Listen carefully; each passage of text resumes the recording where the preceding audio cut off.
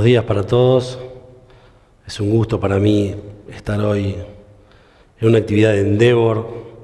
Creo que el espíritu emprendedor es lo más transgresor que puede existir en un país como este, ¿no? Con la matriz ideológica del Uruguay, este debería ser casi un encuentro clandestino. Y la verdad que me encanta poder ser parte de, de, esta familia por un rato. Y digo por un rato porque en realidad debo confesar ni que yo me siento particularmente emprendedor, tampoco me siento un gran empresario. Digamos, soy un tipo de publicidad que puso una agencia. Básicamente es eso. Capaz que lo desilusiono con esta historia, pero nada más que eso.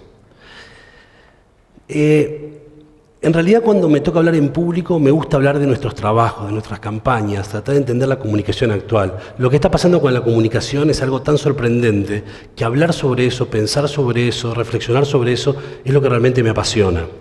Sin embargo, un encuentro de Endeavor, yo entendí que tenía que hablar desde otro punto de vista y mucho más desde mi experiencia personal en el sentido emprendedor, o como emprendedor o como empresario. Así que voy a explorar a partir de esto. Esta valija que ven ahí me acompañó a animar 200 fiestas de niños y adultos en Uruguay. Andrés me dice, mi, mi cumpleaños también. Es cierto. Yo cobraba 100 dólares por las fiestas de adultos y 80 pesos por las fiestas de niños. Estaba tres horas. Empecé con las fiestas de niños, después me dijeron en Punta del Este, ¿por qué no, no te animás a hacer algo para adultos? Y me animé y me empecé, no era stand-up, sino que yo hacía como juegos para la gente que estaba allí presente. Y empezó a funcionar bien. Entonces, con los pesos yo los gastaba y los dólares los guardaba en una cajita que, de un reloj que me habían regalado. Cuando llegué a los 5.500, los contaba cada vez que volvía de una fiesta. Cuando llegué a los 5.500, fui a Naum Automotores, que queda allá arriba en 8 de octubre, y me compré un Fusca amarillo, que lo vendí mal, porque si hubiera aguantado, me lo compraban en un palo verde. Claro, no, no era celeste, pero vos fíjate, el Fusca del Pepe, el Fusca del Pipe, 900 lucas. Y sin embargo no se me dio. Pero así me compré mi auto. Y con mi auto, que el Fusca es muy noble porque no precisa ni agua, yo iba por todo Montevideo y de repente en un día tenía una fiesta, un cumpleaños en Maroñas, abajo una parra, la gente tomando vino, la maestra que venía, me iba a Punta Gorda, después de noche tenía una fiesta de adultos, 200 fiestas. En una época donde no había celular, mi madre me regaló una línea de teléfono adicional para mi casa, yo vivía con mis padres hasta ese momento. Y con esa línea telefónica yo coordinaba las fiestas que me llamaban con tres meses de anticipación. Eso me permitió empezar a pagarme la facultad, porque en realidad mi vocación siempre fue la publicidad y yo sabía que las fiestas eran un tema por un determinado tiempo. Yo quería trabajar en una agencia que se llamaba Punto Publicidad. Ahora ya no quiero trabajar ahí. Es un chiste. Son mis colegas, son mis amigos y son mis colegas. Pero en ese momento era mi sueño. Entonces resulta que este, Elvio Acuña, el director, el principal de la empresa, tenía una secretaria a quien yo conocí, decía, contratame para animar en la casa de él, contratame para animar en la casa de él. Imagínense un tipo más flaco, con rulos, sin psoriasis, otra onda. Entonces de repente llego a la fiesta, porque finalmente logra que yo vaya a la, y cuando termina la fiesta, el dueño de la agencia me dice, te felicito, la verdad me gusta mucho lo que hiciste. Eh, mira, no me pagues, lo que yo quiero es entrar a trabajar en tu agencia. Y él me dijo, empezás el lunes. Fantástico, se lo voy a agradecer siempre. Para mí fue fantástico poder. Y ahí dejé la animación, es decir, pasé de ganar mil dólares por mes. Mirá que con 20 años y mil dólares por mes tenés chance con las minas. No muchas, nunca fue mi fortaleza, pero tenés un poco más de chances. Y pasé a ganar 200 dólares por mes. Pero empecé mi camino en la publicidad, que era lo que yo quería, para lo que yo estaba estudiando, y era la cuestión. Eh, mi business plan, yo te lo voy a contar, yo no sé si es políticamente correcto a nivel endeavor lo que yo voy a decir ahora, porque mi business plan es we will see, ¿no? Vamos a ver. Porque la panza me va marcando y en realidad yo creo que muchas veces uno hace y luego intelectualiza lo que hizo. Yo no tengo escrito en ningún lado qué voy a hacer. Tengo claro qué no quiero hacer, más o menos, y sin embargo, lo que puedo hacer es contar algunas decisiones y algunas sensaciones de mis últimos 20 años trabajando en mi agencia, que quizás pueda volcar en una reunión de este tipo. Ese es mi socio, es mi primo hermano, es mi hermano, Diego Lev. Yo tengo siete años más que él. En esa foto tenía siete años más que él y en esta también. Este es, el, tipo que más me ha enseñado de publicidad en mi vida, pero además es uno de los tipos que más me enseñan en la vida, porque él es brillante. Yo doy las charlas para que él no pierda tiempo con su brillantez y pueda seguir trabajando mientras yo doy las charlas para que no tenga que ocuparse de que la gente lo aplauda. Él está encerrado trabajando y, y como que nos dividimos de esta manera. Él hace las cosas geniales y yo las presento. Diego, genial. Ahora, yo descubrí una cosa respecto a la sociedad. Yo no quiero una sociedad para un negocio. Yo quiero compartir un sueño. Con Diego compartimos un sueño. Más allá de una escala de valores, más allá de, una visión de nuestra vida, de nuestra empresa y de la familia, estamos juntos por amor. Por amor a la profesión, por amor a la causa, por amor entre nosotros. Digamos que si mañana me decís, es buen negocio ser socio de, Mm, viste, primero el amor. Me parece que las cosas tienen que ver con los ejemplos. Yo hago una, una, cantidad de cosas de forma instintiva, pero después me doy cuenta que eso sirve porque a, la guerra está bien que los capitanes vayan adelante. A mí me explicaron que en los ejércitos buenos y de verdad los capitanes van adelante. Estas son tres campañas nuestras. No voy a mostrar videos, simplemente voy a contar una, las dos de las puntas son para Puma, que por suerte viste la selección uruguaya, lo que da una enorme cantidad de oportunidades creativas. Esa foto la sacamos en Ghana, en Accra, en el África Occidental. Y vamos a Ghana. Y un día vamos a Ghana y yo voy a Ghana. ¿Por qué? Porque para esto trabajo. Porque esto es lo que me entusiasma. El formato de mi empresa es casi igual a un formato de, la agencia de publicidad del año 60. Si yo te presento el formato de la agencia, vos me decís, ¿en qué estás innovando? Pareces Mad Men. De a poco vamos cambiando, porque obviamente que lo digital nos va cambiando, pero en realidad lo original tiene que estar en el producto sobre todas las cosas. Eh, la foto del medio es en Isla Feroe. Ese muchacho ahora tiene OCA, pero era un hincha de Uruguay que no tenía OCA. Y fuimos a buscarlo para ahí. Y el otro es el fantasma del 50. En realidad, viajar a todos esos lugares parte de la base de que es hacer y tenés que sumar muchas voluntades para que las cosas pasen. Tenés que sumar, tenés que convencer y sobre todo hacer que sea parte de la idea una cantidad de gente para que las cosas pasen. Ahora, la verdad, yo viajo. Yo me divierto muchísimo. Y para estas cosas también tenemos la agencia.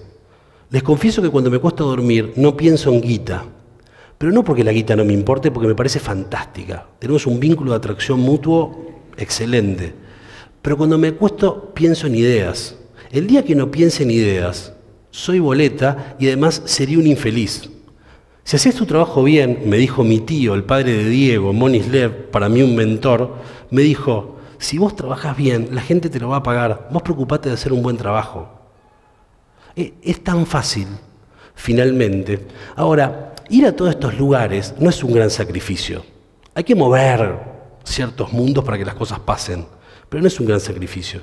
Me acuerdo cuando yo trabajaba para el Discount Bank, que trabajé muchos años para ese banco, con mucho cariño, y abrí una sucursal en Colonia. Entonces me dice gerente de marketing, Pipe, tenés que estar en la, inauguración. Digo, ¿pero qué celebran? ¿Que son el último banco que abren en Colonia? Le digo, pues realmente, ¿cuál es la fiesta?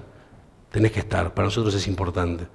Entonces me, compré dos barras de cereales, me fui a tres cruces para no manejar, y me fui a Colonia y de vuelta porque para el tipo es importante. Porque si la Faroe si es esto. Ahora, ¿cuál es tu actitud? No es desde la oficina. Aparte Uruguay tiene una cosa buenísima, la dimensión. Nadie puede ser tan grande en este país, porque nada es tan grande. Uruguay te humaniza, ¿entendés? Por la dimensión. Ningún edificio puede ser tan alto. Entonces, si bien uno quiere crecer, siempre terminas en una escala muy humana. Y el ejemplo está en las chicas y en las grandes, y está bien que la gente que trabaja con uno pueda ver eso.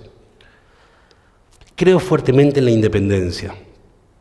Nuestra agencia es independiente de las redes internacionales, que perdemos una cantidad de cosas, pero ganamos otras. Eh, eso implica que en realidad la independencia, ¿qué es lo que me permite? Decidir para quién trabajo. Esa es la felicidad absoluta en términos laborales. Decidir con quién y para quién. El día que vos puedes elegir para quién trabajás y además tenés heladerita en tu oficina, sos feliz. Yo creo que es lo único que precisás finalmente. Y yogur diet. El problema es que cuando ya tenés la heladerita, tomás yogur diet. Es decir, cuando comes cosas que engordan, no tenés heladerita. Cuando tenés heladerita, ya comes diet. Es como que la vida. El día que tenés un aeropuerto, te sacan los aviones, ¿entendés? Son cosas del Uruguay, cosas de la vida. Cuando tenés una cosa, no tenés otra. Todo el tiempo pasa. El día que puedes entrar a las películas para mayores de 18, ya no querés ir. Es decir, todo, todo el tiempo pasa así. La independencia te permite tomar tus decisiones todo el tiempo. ¿A qué voy y a qué no voy? Por ejemplo, nosotros no licitamos cuentas del Estado. Eso no nos hace geniales. El Estado tiene que comunicar, muchas veces comunica en exceso, pero tiene muchas veces que comunicar. Pero a mí me encantan los emprendedores y me encantan las empresas privadas. Me pasa. Esto es lo segundo más transgresor del día. Decir que una agencia de publicidad no trabaja para empresas del Estado es realmente una señal de tesón, por lo menos, ¿no? o de cierta valentía. Lo que no quiere decir que lo otro esté mal, sino que quiere decir que es una mirada desde lo privado ¿no? y desde el mano a mano. Yo quiero trabajar para el tipo que confía en mí y además no estoy dispuesto a que me paguen los clientes, estar en licitaciones para tipos que no me están pagando. Y es una mirada. Les quiero decir algo, este discurso puede ser cambiado absolutamente cuando pierda tres cuentas. Es decir, pierdo tres cuentas, te vengo con otro discurso. Pero vos dijiste eso. Bueno, era un momento. Es como todo en la vida. Vos me estás agarrando hoy, 21 de noviembre, 90 kilos. No sé qué pasa en cuatro o cinco días, ¿entendés? Porque en publicidad siempre estás a dos cuentas de la gloria y a dos cuentas del fracaso total. ¿está? Ve llegar a la agencia y veo en qué estoy. La generación de mística. Mística no es decirle a tu gente que sos parte de algo es que realmente sea parte de algo. Renuncia poca gente en la agencia, se va poca gente de la agencia. La rotación es un gran problema. La gente primero tiene que ganar bien. Ganar bien son sueldos que están por encima del sueldo de mercado. La gente tiene que tener un proyecto adentro de tu proyecto. Vos tenés que entender que el que se va no es tu enemigo, sino que este es un tren que va. Cada uno se sube en la parada que quiere, se baja en la parada que quiere y tiene todo el derecho.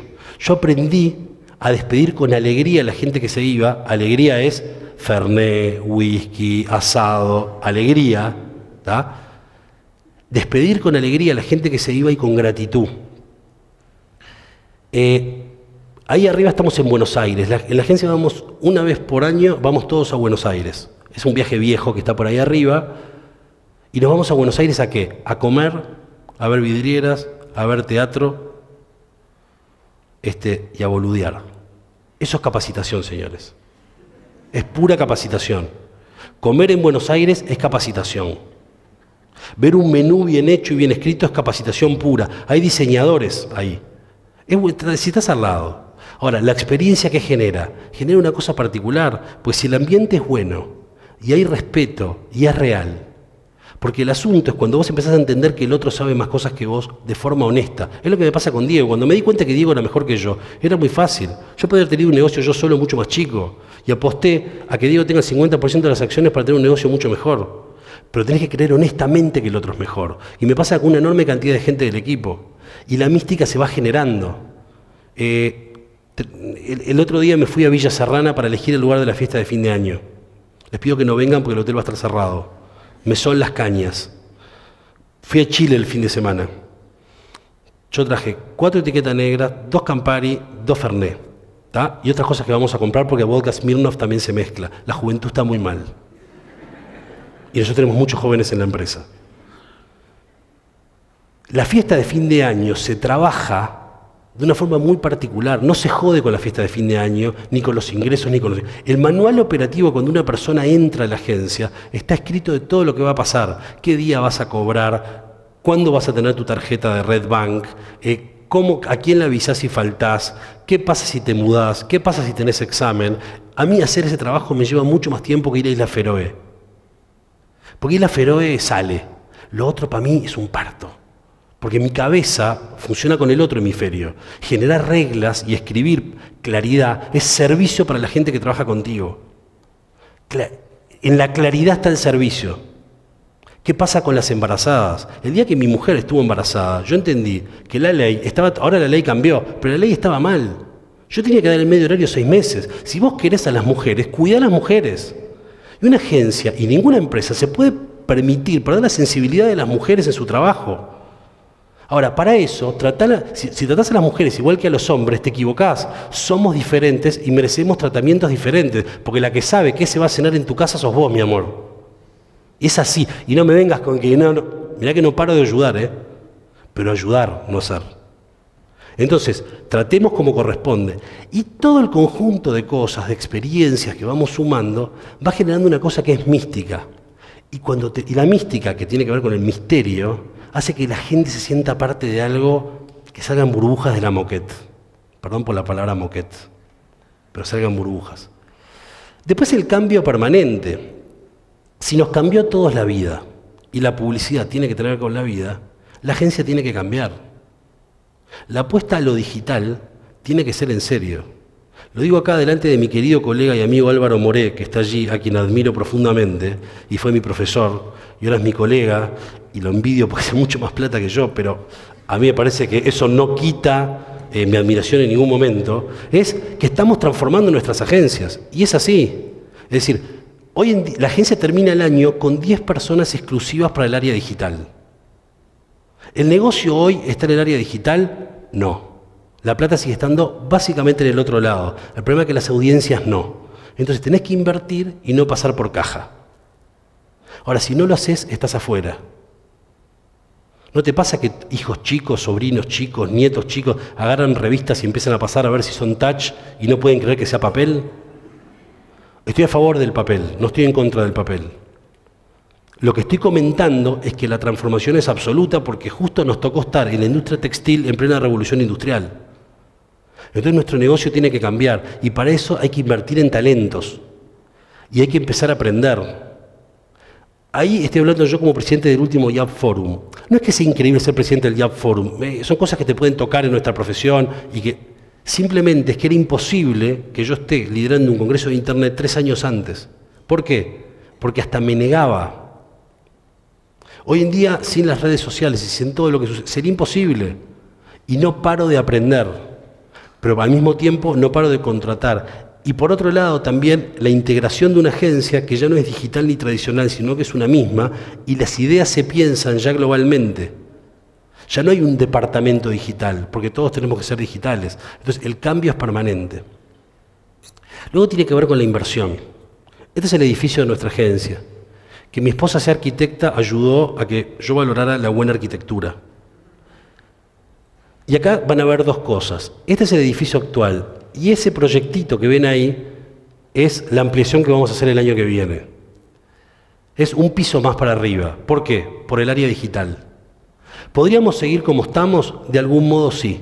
Ahora, si paramos de pedalear nos caemos. Y el edificio es nuestro. Y yo no sé si hay otro edificio hecho desde cero para agencia de publicidad, y menos de una agencia independiente. Pero eso es lo que creemos. Y la gente cuando entra, ¿qué piensa? No, estos tipos deben ser en serio, si no, no estarían acá. Viste que la gente cree esas cosas. Hay que ayudar a la gente a confiar. Cuando, aparte, cuando el hardware no te ayuda, por lo menos es un edificio, ¿no? Entonces, invertir todo el tiempo. En este momento estamos discutiendo el proyecto, el formato de agencia es sin parar. Y lo que me pasa es la adrenalina pura. Es verdad que a veces me despierto de noche y desde las 4 no duermo hasta las 6. No te lo voy a negar. Pero no pasa todo el tiempo. Es parte del sabor. Y después bueno, ahí está Isabel, estoy al lado de Perla, mi esposa, ahí está Isabel, ahí está Mauricio, que son mellizos, y ahí está Catalina. Y les quiero comentar que en realidad el mundo del negocio, del emprendedurismo, está todo bien.